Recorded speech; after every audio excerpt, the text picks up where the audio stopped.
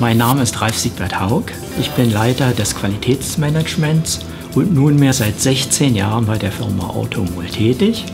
Ich achte insbesondere darauf, dass unsere Produkte unser Haus nur in Premium-Qualität verlassen. Und die Prüfung, ob es sich hier um Premium-Qualität handelt oder nicht, die erfolgt hier im Labor mit unseren zahlreichen Gerätschaften.